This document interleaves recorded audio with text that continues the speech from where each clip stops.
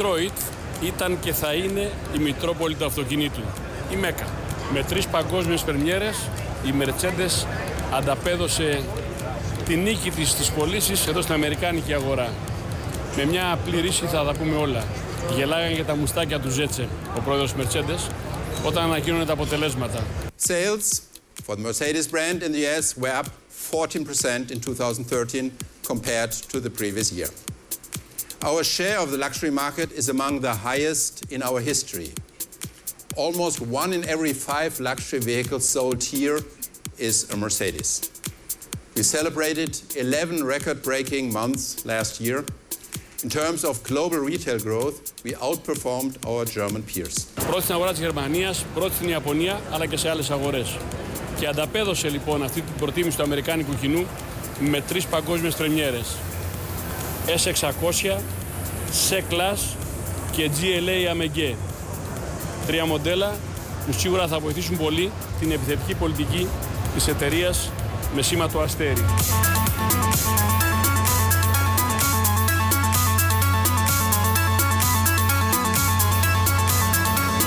Πολύ smart μαζεμένο βλέπω. Μάλλον θα έχει φωλιά. What we do have in the future is, uh, starting next year, we will extend our portfolio from a two-seater to a whole portfolio with a four-seater. And both cars will have uh, the same technology. Both will share the same uh, platform, so they will be also looking more or less the same. We will start at the end of 2014 in Europe. We will not have diesel engines in the, mo- in the future. I could be the one to make you feel that way. Για μια ακόμη χρονιά είχαμε τύχει να πάμε στο Detroit. Το Detroit που ουσιαστικά εγκαινιάζει την ε, χρονιά των εκθέσεων για όλες τις αυτοκινητοβιομηχανίες. Ευρωπαίοι, Ιαπωνέζοι και Ασιάτες έχουν εισβάλει για τα καλά στην Αμερικάνικη αγορά που φέτος αναμένεται να φτάσει στα 14 εκατομμύρια πωλήσεις και οι Αμερικανοί έχουν περιοριστεί σε ρόλο κομπάρσου λόγω των δημιουργιών τους. Και τι εννοώ με αυτό; Ότι οι δημιουργίες τους είναι αδιάφορες σχεδιαστικά και γενικά όλη η φιλοσοφία κατασκευής, αναρτήσεις, κινητήρες δεν συνάδουν με την ευρωπαϊκή κουλτούρα αλλά και με άλλες χώρες. Εκεί που πραγματικά έχουν μείνει δυνατοί και κάνουν πάρτι είναι τα muscle cars και φυσικά τα pick-up. Αυτά τα αγροτικά, τα πατατάδικα που λέμε. Και είχε η Ford το F150 ένα κωδικό που διαιωνίζει αυτού του είδους την παραγωγή με πολύ αλουμίνιο στη χρήση του ώστε να ελαφρύνει. Πολύ επιβλητική έτσι παρουσία, τεράστια μάσκα, χρώμια πάνω, άλλο πράγμα. Αντίστοιχα GMC. Παλιά όταν ήμασταν πιτσιρικάδες και τα- υπήρχαν τα στρατιωτικά, τα λέγαμε James αν θυμάστε. Τα GMC λοιπόν, αλλά και τα RAM της Dodge, σε διπλοκάμπινη ή τετρακάμπινη έκδοση, με μονό ή διπλό τροχό στον πίσω άξονα, ανάλογα με τις ανάγκες του κάθε cowboy. Στο πεδίο της Porsche, μεγάλος πρωταγωνιστής η 911 Targa. Όχι προσωπική μου εκτίμηση, πιστεύω ε, αμε- εκτίμηση όλων, ίσως από τις ωραιότερες 911 που έχουν παρουσιαστεί και μάλιστα έχει ένα στοιχείο που η αψίδα που χρησιμοποιεί προέρχεται από τις πολλές νίκες που κάνει στο Targa Florio στην Κελία. Ήταν αυτή που χρησιμοποιήθηκε πριν από 49 χρόνια στο πρώτο μοντέλο και φυσικά τώρα πια η διαδικασία του άνοιξε, κλείσε κουκούλα γίνεται με το πάτημα του σκουμπιού, είναι ηλεκτρική δηλαδή. Στην ίδια οπέρα με την Porsche και η Audi φυσικά, η οποία είχε να παρουσιάσει για το αμερικάνικο και όχι μόνο κοινό το Shooting Brake, ένα δημιούργημα με τρίπορτο αμάξωμα εντυπωσιακό, quattro και φυσικά κάτω από το καπό θα φιλοξενεί και κινητήρα εσωτερικής καύσης αλλά και ηλεκτροκινητήρα. Πάμε δηλαδή σε κατηγορία e-tron.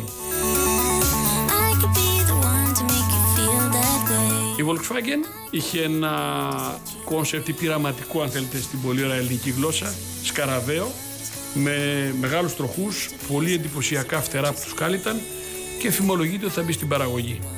Παράλληλα είχε και ένα επίσης πειραματικό Passat 1,4 Blue Motion. I could be the one to make you feel that way. Κλείνω με αυτή την ομπρέλα που έχει από κάτω της έναν μεγάλο και ιστορικό κατασκευαστή αλλά παράγεται στη γυραιά Αλβιώνα. Μιλάμε για την Bentley. Είχε λοιπόν μια νέα πρόθεση Continental ε, με πιο έτσι, ενδι- ενδιαφέρουσες επιδόσεις αλλά και πιο ε, ανανεωμένο, διαφοροποιημένο πιο τσαχπίνικο σχεδιασμό, πείτε το όπως θέλετε. Ταιριάζει. Set you free. Στην αρχαία Ελλάδα είχαν τους αγγελιοφόρους, οι οποίοι ως γνωστόν μετέφεραν μηνύματα. Μηνύματα ενημέρωσης ή αποτελέσματος. Σήμερα λοιπόν οι αυτοκινητοβιομηχανίες έχουν τα concept cars, τα πειραματικά που λέμε στα ελληνικά. Η Volvo λοιπόν είχε το XC Coupé, ένα μοντέλο το οποίο φωτογραφίζει το πώς θα είναι οι μελλοντικές δημιουργίες του Σουηδού κατασκευαστή στην κατηγορία SUV. Πάμε και λίγο στην Ιαπωνία, όπου η Toyota παρουσίασε μια δημιουργία με κωδική ονομασία FT1 ή FT1 αν θέλετε, που είναι πραγματικά ένα εντυπωσιακό κουπέ και που έχει πολύ μεγάλη ιστορία σε αυτή την κατηγορία η Toyota και που τα τελευταία χρόνια απουσιάζει. Τέλος, η Κορέα. Η Hyundai με το Genesis με λεπτομέρειες καινούργιες, πληθωρικούς κινητήρες, τεράστιους χώρους να μεταφέρει όσους θέλετε, ακόμη και μπασκετμπολίστες και η Kia ένα ενδιαφέρον ε, κουπέ ε, GT4 το οποίο είναι πίσω κίνητο χρησιμοποιεί τούρμπο κινητήρα τετρακύλινδρο τοποθετημένο μπροστά φυσικά αλλά είναι άγνωστο εάν και πότε θα μπει στην παραγωγή. Τόσο η Hyundai όσο και η Kia δεν έχουν πετύχει ακόμη τους στόχους που είχαν βάλει όσον αφορά την ποσότητα των πωλήσεων. Από ό,τι καταλάβατε, βρισκόμαστε στο Detroit. Είναι η μεγαλύτερη πόλη της πολιτείας Μίσιγκαν και συνορεύει με τον Καναδά. Ιδρύθηκε το 1701 από έναν Γάλλο εξερευνητή Αντουάν Λομέ Ντελαμόθ Σιέρντε Καντιλάκ. Και μάλιστα για να τιμήσουν τη χειρονομία του που ίδρυσε την πόλη, ε, ο Λέλαντ και Μέρφυ πήραν το όνομά του, Κάντιλακ, και παράλληλα το οικοσιμό του. Εκεί λοιπόν στις αρχές του 20ου αιώνα και ο Χένρι Φόρτ έφτιαξε τη δική του βιομηχανία και μάλιστα ήταν ο πρώτος που εφήρμοσε την αλυσίδα παραγωγής. Ενώ τον μιμήθηκαν και οι αδερφοί Dodge και η Packard και ένα σωρό άλλοι. Αυτό είχε σαν αποτέλεσμα το Detroit να γίνει η μητρόπολη της αυτοκινητοβιομηχανίας και σιγά σιγά να χτιστεί αυτός ο αμερικάνικος μύθος. Το Detroit επίσης είναι η έδρα της Ford, της ε, General Motors και της Chrysler. Το 1950 που άρχισε η οικονομική άνθηση μετά τον Παγκόσμιο Πόλεμο αριθμούσε 1.800.000 κατοίκους για να αρχίσει σιγά σιγά η παρακμή του 60 και 70 και να φτάσει σήμερα, γιατί πέρσι αν θυμάστε χρεοκόπησε, να αριθμεί περίπου 700.000 κατοίκους σε μια καταμέτρηση που έγινε το 2012. Και μάλιστα υπόλοιπο αυτής της ανόδου ήταν το Packard Plant, γύρω στα 325.000 τετραγωνικά μέτρα, κάτι που σήμερα μένει εγκαταλειμμένο. Έχει αρκετά αξιοθέατα να δει κανείς. Έχουμε έντονη ελληνική παρουσία. Creek Town, η ωραίτερη περιοχή, με ξενοδοχεία, καζίνο, ελληνικό φαγητό και φυσικά το θρηλυκό τρενάκι υπέργειο, χωρίς ε, μηχανοδηγό, είναι ηλεκτρονικό, περνάει μέσα από κτίρια, είναι πραγματικά πολύ εντυπωσιακή και η διαδρομή του, αλλά και το πώς έχουν ξετρυπήσει τα κτίρια, γιατί το τρενάκι φτιάχτηκε πολύ αργότερα από τον επικισμό και τους ουρανοξύστες που υπάρχουν στο Detroit. Μάλιστα η Mercedes-Benz είχε βάψει ένα τρενάκι στα χρώματά της για τις εκλάσεις που παρουσίασε εκεί. Μου έκανε εντύπωση ότι εδώ και χρόνια που η Ελλάδα έχει αποδεσμευτεί από την υποχρέωση της βίζας ήταν η πιο γρήγορη είσοδος και έξοδος στην Αμερική που είχα ποτέ στα ταξίδια που έχουν γίνει. Μια χαρά ήταν.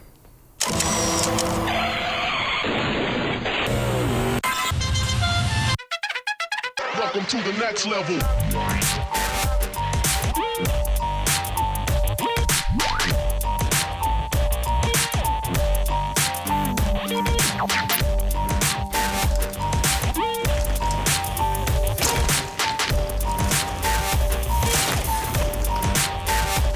Λένε ότι η τρέλα πάει στο βουνό και δεν έχουν άδικο. Μαζί μας εδώ είναι ο Μίστερ Γιώργος Βλασόπουλος που ασχολείται με αυτό το άθλημα που μόλις είδατε το οποίο λέγεται Γιώργο Downhill.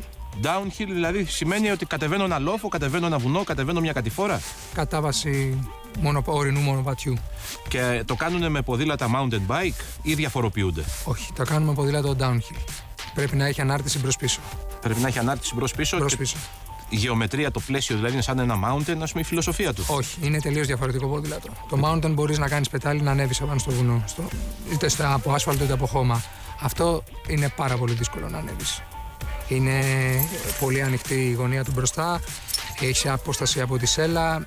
Ε, έχεις το pumping από την ανάρτηση. Δεν μπορείς να κάνεις πετάλι. Pumping εννοείς τη... Το πάνω κάτω αυτό αναπήδηση. ναι, που σου τρώει τη μισή πεταλιά της τρώει το πάνω κάτω. Άρα είναι δηλαδή σχεδιασμένα για να κάνουν συγκεκριμένα αυτό.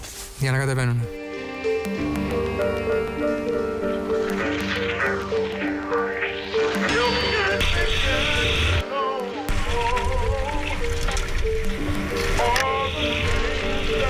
Πόσα χρόνια περίπου στην Ελλάδα υπάρχει αυτή η τρέλα, να την πω έτσι; Αυτή η τρέλα είναι μ, 8 χρόνια, τα- αλλά κάθε χρόνο που, που περνάει γίνεται ακόμα πιο έντονο. Το βλέπω γιατί εμείς που πάμε για γυρίσματα στα βουνά, βλέπουμε συνέχεια.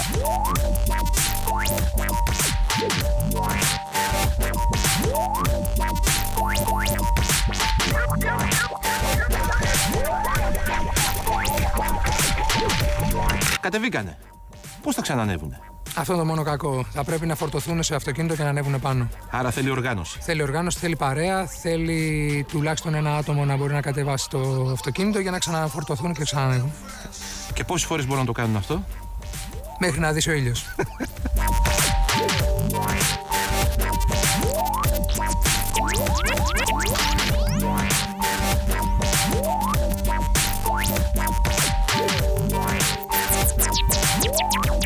πρέπει να δηλαδή θέλει φυσική κατάσταση. θέλει βασικά πολύ προπόνηση. Θέλει μεράκι, θέλει να μην φοβάσαι, γιατί ο φόβος είναι κακός σύμβουλος. Να έχει όμως το μυαλό σου, μην υπερεπτιμήσει τις δυνατότητές σου, γιατί τα δέντρα είναι πιο δυνατά από σένα. Αν πέσεις, ενδέχεται να χτυπήσεις αρκετά. Εξοπλισμό και παρέα. Και παρέα προπαντός, γιατί άμα γίνει κάτι πάνω στο βουνό, κάποιος να έχεις να. Αλλά μην ξεκινάμε αρνητικά. Είδα ότι αναπτύσσουν μεγάλη ταχύτητα. Δηλαδή, εδώ το άλμα τώρα κάνει 50 χιλιόμετρα, 60 τουλάχιστον. Όχι, δεν είναι τόσο, αλλά είναι πάνω από 30-35 χιλιόμετρα στο μονοπάτι σε σχεδόν πάντα.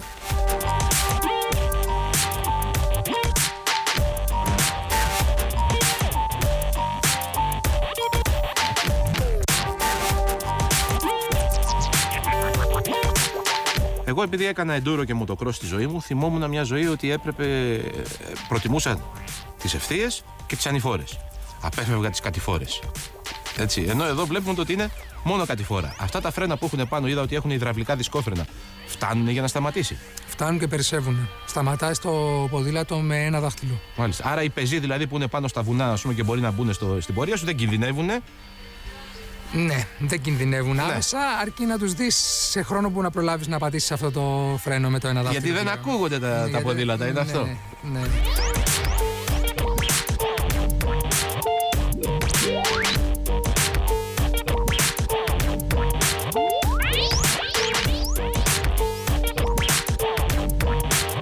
Αν εσύ έχεις ένα παιδί που είναι, έτσι, θέλει να ασχοληθεί με το άθλημα, ποια είναι η πρώτη και βασική συμβουλή που θα του δώσεις; Να ασχοληθεί με το downhill. Ναι. Πρώτα απ' όλα πρέπει να πάρει ποδήλατο και εξοπλισμό. Αυτά τα δύο πράγματα. Μετά έρχεται η προπόνηση. Κοστολόγια.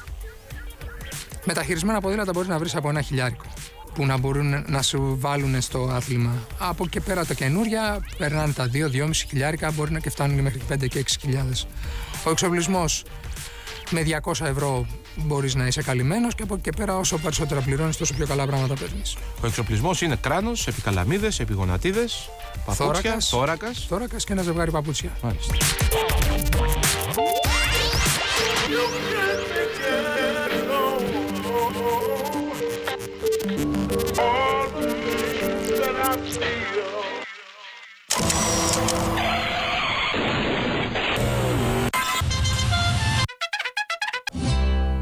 Μη σας κάνει εντύπωση που είναι ο ενέγκυος είναι για τις ανάγκες του γυρίσματος.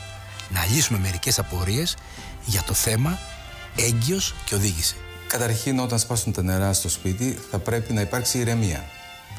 Η έγκυος θα πρέπει να ειδοποιήσει το γιατρό της ή τη ΜΕΑ, να πάρει τις βασικές οδηγίες, να ηρεμήσουν, να προετοιμαστούν και να ξέρουν ότι ο τοκετός δεν ξεκινάει ταυτόχρονα με το σπάσιμο των νερών. Μπορεί να υπάρξει μεγάλο μεσοδιάστημα, πολλές φορές και πολλές ώρες, 8ωρο ή 12ωρο.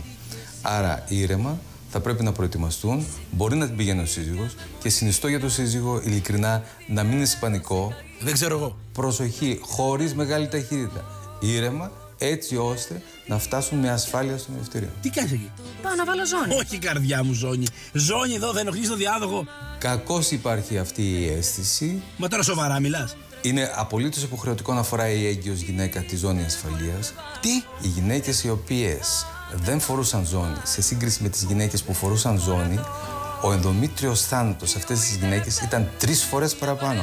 Είναι συγκλονιστικό το νούμερο και θα ήθελα να το καταγράψω και να το υπερτονίσω. Κάτω από την κοιλιά αυτή εδώ η πλευρά της ζώνης και το επάνω περνάει ανάμεσα από το στήθος. Που θα μου πει τώρα εμένα για το διάδοχο. Δεν ξέρω εγώ. Έλα βρε αγάπη μου, θέλω να οδηγήσω λίγο, άσε με. Μου έχεις Δεν. πει- Δεν ξέρω εγώ. Τι λέει; Όποιον και να ρωτήσεις θα σου πει ότι δεν μπορεί μια έγκυος να οδηγάει. Βεβαίως μπορεί να οδηγάει αν έχει τοποθετημένα καλά τη ζώνη ασφαλείας. Θα πρέπει όμως να τονίσουμε κάτι, ότι υπάρχουν μερικές περιπτώσεις που οι έγκυες γυναίκες δεν πρέπει να οδηγούν. Ωραία, αφού υπάρχουν κάποιες εξαιρέσεις, Τι εξαιρέσεις; Να μην, είναι, να μην διανύει το τελευταίο μήνα της εγκυμοσύνης της, δεν είμαι στους τελευταίους μήνες, έχω ακόμα περιθώριο, άρα μπορώ. να μην έχει επιπλωματικό πλακούντα, οπότε μπορεί να έχουμε αποκολλήσεις, Και ο πλακούντας μια χαρά είναι, έκανα εξετάσεις. να μην έχει σαχαρόδι διαβήτη, διότι πολλές φορές μπορεί να, γίνει, να έχει υπογλυκαιμία και να προκαλέσει κάποια βλάβη. Αφού ξέρεις ότι διαβητική δεν είμαι, ορίστε το λέει, γιατί δεν με αφήνεις; Να μην έχει χαμηλό αιματοκρίτη, οπότε μπορεί να ζαλιστεί. Παιδί μου, καλές βγήκανε και εξετάσεις του αιματοκρίτη, μια χαρά, δεν έχω πρόβλημα. Δεν είναι μόνο αυτά. Καταστάσεις από εμετούς που έχει, ζαλάδες, ναυτίες, εμέτους γενικότερα. Όλες αυτές είναι καταστάσεις στις οποίες πρέπει να τις αποφεύγει. Αφού λοιπόν τα λήξαμε όλα αυτά εκεί με μια χαρά, θα πάρω και τη μικρή την επόμενη φορά και θα πάμε μια βόλτα. Το δεύτερο παιδί με στο αυτοκίνητο. Ναι. Όταν έχει το, και οφορεί το δεύτερο τους παιδί και έχει το μεγαλύτερο παιδί στο αυτοκίνητο και δεν έχει άλλον συνοδεία, καλύτερα να το αποφεύγει. Αν συμβεί κάτι, θα πρέπει, θα πρέπει, θα, θα προέλθει πανικός, καλύτερα να το αποφύγει αυτό. Ήσυχα, παιδί μου, στις λακκούβες. Ήσυχα, ήσυχα, ήσυχα, ο γιος μου, ήσυχα. Σιγά μου, δεν παθαίνει τίποτα το έμβριο, μια λακκούβα πέρασα. Ενδεχομένως οι αναταράξεις στον δρόμο να έχουν μια βλαπ- μικρή βλαπτική επίδραση στην όλη κοίηση και γι' αυτό καλό θα ήταν να αποφεύγονται οι κακοτεχνίες του δρόμου και οι μεγάλες λακκούβες και αν δεν υπάρχει άλλος τρόπος να γίνεται με πολύ μικρή ταχύτητα. Ήθελα να ξέρω αν είσαι μόνη σου και οδηγάς και σπάσουν τα νερά. Να δούμε τι θα κάνεις. Η έγκυος, ε, στο χρόνο που οδηγεί, αν σπάσουν τα νερά, ε, καταρχήν δεν θα πρέπει να πανε- πανικοβληθεί.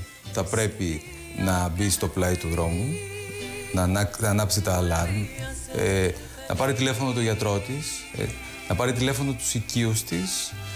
Ε, πρέπει να ξέρει ότι το κετός δεν επέρχεται άμεσα, έχει πάρα πολύ μεγάλο χρονικό διάστημα μέχρι να ξεκινήσουν οι πόνοι. Οπότε ήρεμα, αν μπορεί να οδηγήσει, θα πρέπει να πάει στο πλησιέστερο μευτήριο. Αν δεν μπορεί να οδηγήσει, να έρθει να την παραλάβει κάποιος από τους οικείους της ή αν είναι σε μεγάλη απόσταση, να έρθει ε, ένα πρώτο βοηθειών να την ε, μεταφέρει στο μευτήριο. Ε, άρα λοιπόν και σε περίπτωση αιμορραγίας το ίδιο θα κάνω. Σε περίπτωση αιμορραγίας, η κατάσταση είναι λίγο πιο σοβαρή. Πάλι καθό χρόνο οδηγεί, θα πρέπει να βγει στο πλάι του δρόμου, να ανάψει τα αλάρμ της, χωρίς πανικό, να διαπιστώσει αν η αιμορραγία της είναι μεγάλη ή μικρή.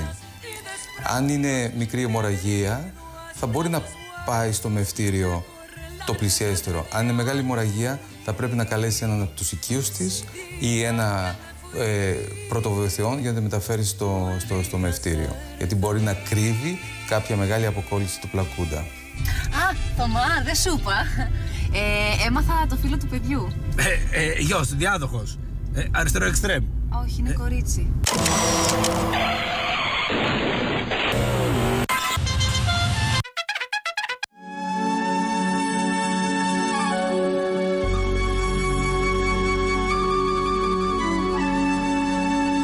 Το 36ο Rally Dakar έχει πολλούς λόγους να μείνει στην ιστορία. Κάποιοι θέλουν να το ξεχάσουν όσο πιο γρήγορα μπορούν. Είτε ανήκουν στους 204 που τερμάτισαν, είτε στους 230 που εγκατέλειψαν πριν φτάσουν στο Βαλπαραΐσο της Χιλής. Κοιλάδο του Παραδείσου σημαίνει αυτό, όμως για να φτάσουν εκεί έπρεπε πρώτα να περάσουν από την κόλαση. Και κάποιοι έμειναν εκεί.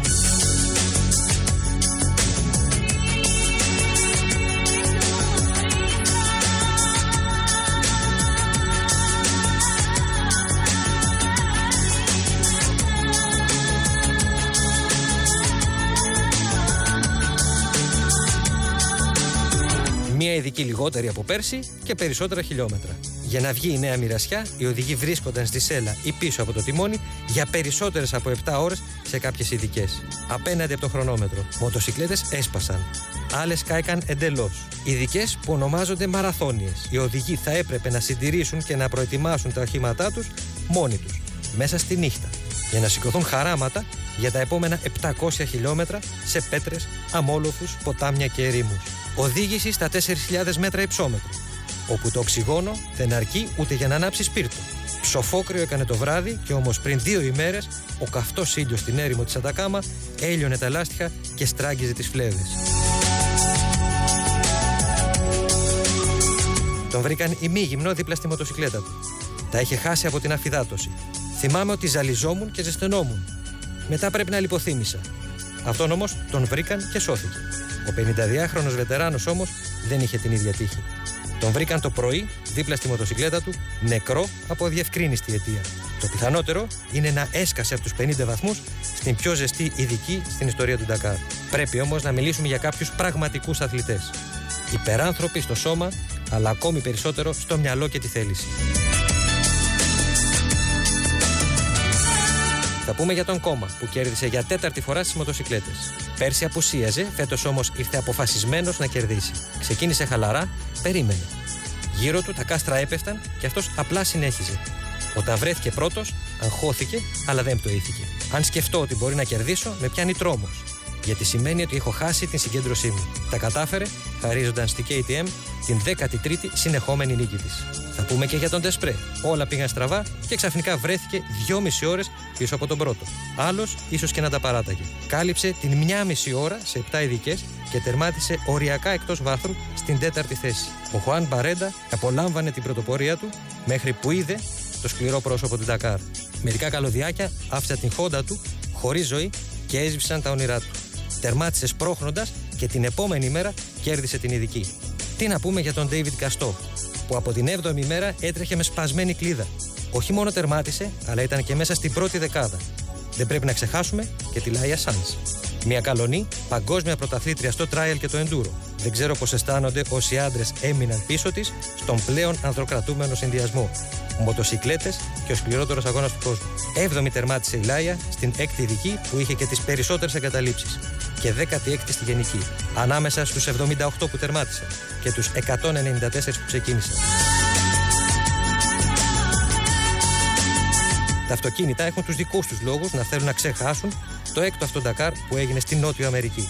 Για πρώτη φορά τα αποτελέσματα αλλοιώθηκαν εξαιτίας οδηγιών από τις ομάδες. Στέρισαν την νίκη από τον Γάλλο Στέφαν Πέτερ Αντζέλ και την έδωσαν στον Ισπανό Χουάν Νάνι Ρώμα. Φαίνεται ότι τα μίνι χρειάζονται περισσότερη προβολή στην Ισπανία παρά στη Γαλλία. Τα Quad είχαν τον δημοφιλέστερο όλων στον τερματισμό στη Χιλή. Γιατί ήταν ο πρώτος χιλιανός οδηγός που κερδίζει στο Rally Dakar. Ο Ιγνάθιο Καζάλ στα 27 του έγινε ένας εθνικός ήρωας για λίγες ημέρες. Στα φορτηγά τα Καλάσνικοφ άστραψαν και βρόντιξαν. Το ρώσικο πλήρωμα του Άντρεϊ Καργκίνοφ με το ρώσικο φορτηγό πήραν την μπουκιά από το στόμα του Ολλανδού Ντερόι, πετώντας με το καμάζ πάνω από τους αμόλοφους. Η Αφρική θέλει πίσω τον Ντακάρ, αλλά η Νότιος Αμερική δεν το αφήνει. Είναι λίγο νωρίς βέβαια για να το θυμάστε, όμως δεν είναι δύσκολο. Το 2015 και πάλι οι Άνδης θα είναι στο σκηνικό του Ράλι Ντακάρ.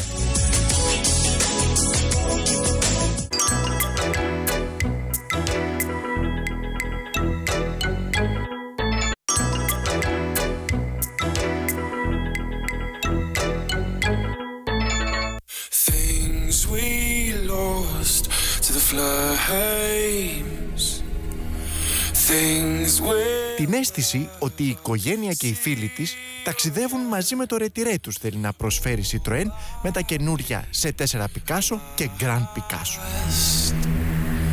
sits before us, shattered into ash. These are the Ευάερα, ευήλια και αισιόδοξα, σαν ένα μοντέρνο loft, τα συγκεκριμένα μοντέλα της Citroën υπόσχονται άνεση, πολυτέλεια και τεχνολογία που μόνο στο σπίτι του μπορεί να απολαμβάνει κάποιος.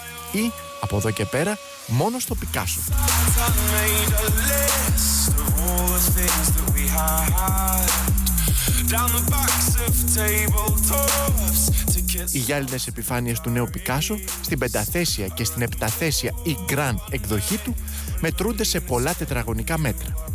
Η γυάλινη οροφή είναι με άνεση η μεγαλύτερη στην κατηγορία του Πικάσο, αυτό όμως είναι σχεδόν αυτονόητο. Αλλά και χωρίς αυτήν, καθότι προαιρετική, το Πικάσο έχει ένα αχανές παρμπρίζ που εξασφαλίζει πανοραμική θέα στο τοπίο. Το μόνο που θα χρειαστεί να κάνουν οι επιβάτες του είναι να βρουν το κατάλληλο τοπίο.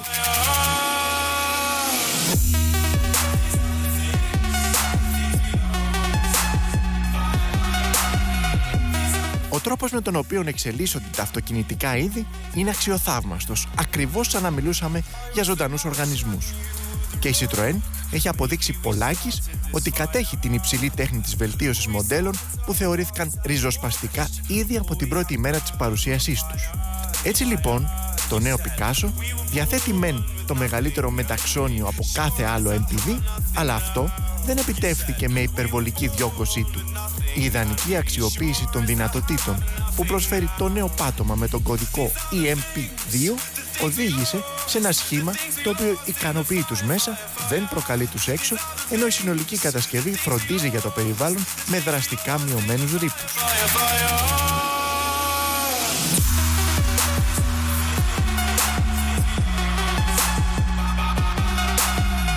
Εντυπωσιακά μειωμένο είναι όμως και το βάρος, το οποίο είναι έως και 140 κιλά χαμηλότερο σε σχέση με το Πικάσο της προηγούμενης γενιάς.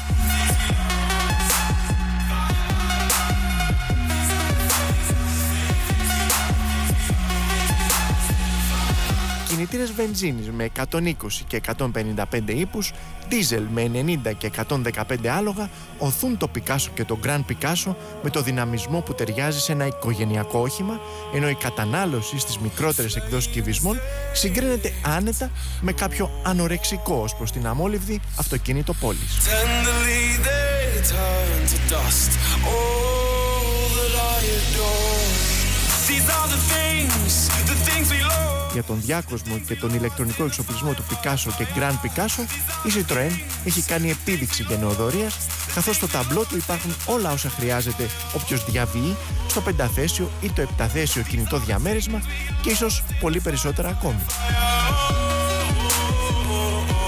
These are the things we lost in the fire, fire, fire.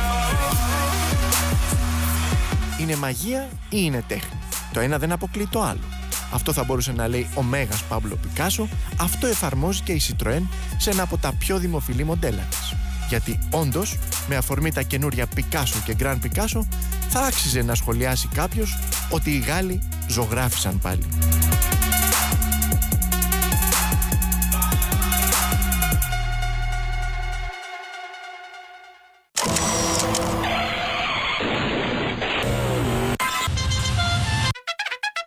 Κυρίες και κύριοι, ο Γιάννης Στεφόπουλος. Πάμε. Έχω πρεμιέρα σε δύο μέρες, οπότε κάτσε εδώ όπως είσαι. Περίμενε μία εβδομαδούλα και έρχομαι. Μια εβδομάδα. Δεν είναι και πολύ.